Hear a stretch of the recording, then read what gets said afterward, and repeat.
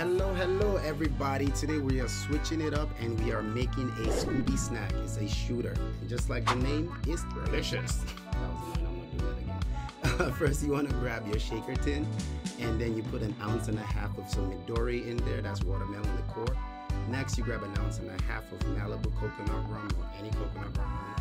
Um, next, you want to grab some pineapple juice, put a little splash in there, just a fill up your cup with ice, cover it, shake it, and look cool while you do it so people can like, follow, and subscribe to your video.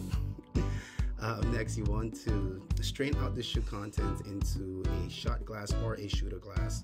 Um, leave a little bit of space at the top for your garnish because for garnish we're using whipped cream. It's very tasty.